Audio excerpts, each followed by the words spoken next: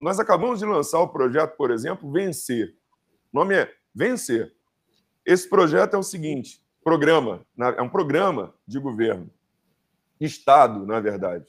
Ele, ele, ele, ele dá oportunidade para as pessoas carentes que estão no CAD único do governo, do governo federal, né?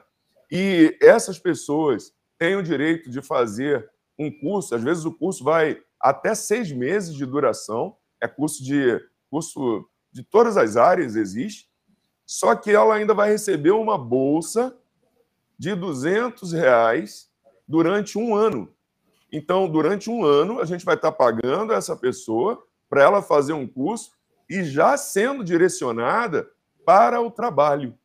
Então, é dessa forma que o governo do estado de Rondônia conseguiu fazer com que nós fôssemos o estado com o menor desemprego do Brasil.